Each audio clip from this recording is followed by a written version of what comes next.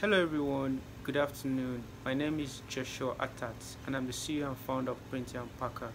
So what we do at Printy and Packer is we're creating 100% eco-friendly packaging materials to replace plastic packaging and tree-based paper, paper packaging. That's packaging that is made from trees. I mean the traditional paper packaging comes from trees. You have to cut down trees, produce paper and then they are made into paper bags, paper plates and the rest of them.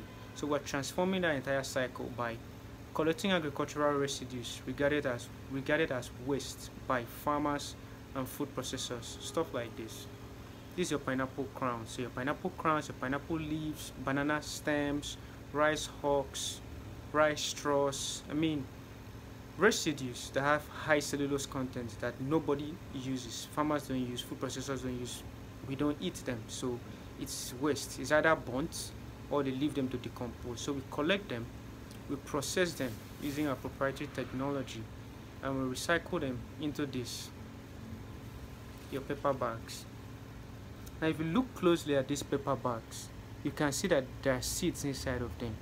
So we took our own packaging products a step further and embedded seeds in it so that when this paper bag reaches end of life, instead of you throwing it away because you don't need them again you're done with i mean you're done using them.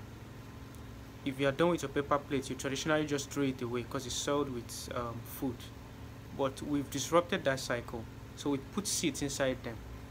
Look closely you can see them. So that when you're done using it you can plant it and the paper will decompose and the seed in it will grow out. So that, that way there's zero waste. So that's what we are building at Printy and Packer thank you